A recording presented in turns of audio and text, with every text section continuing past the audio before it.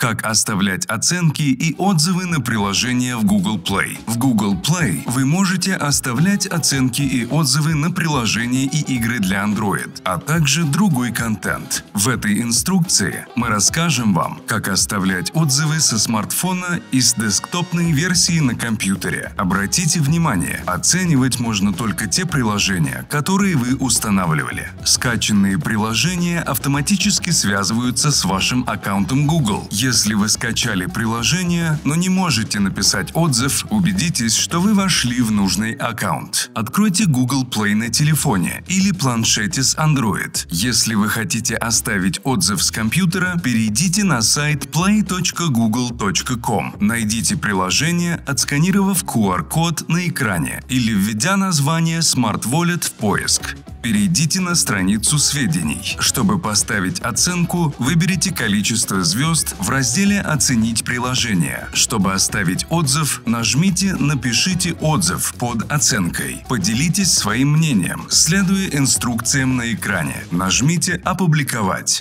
Чтобы удалить или отредактировать отзыв, найдите свой отзыв на странице сведений о приложении, нажмите «Изменить» или «Удалить». Если вы выбрали «Изменить», отредактируйте отзыв и нажмите «Отправить».